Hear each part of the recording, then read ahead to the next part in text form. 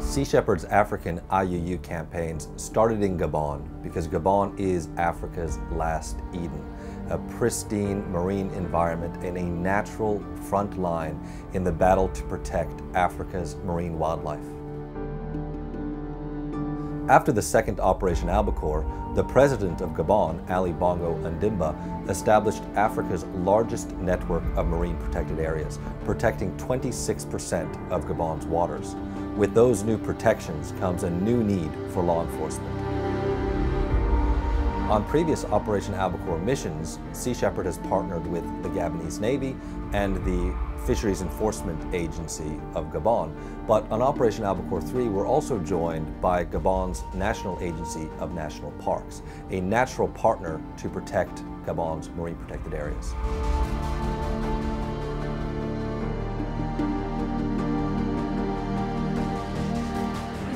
Okay, let's uh, let's get the teams ready and let's put the boats in the water as quickly as we can.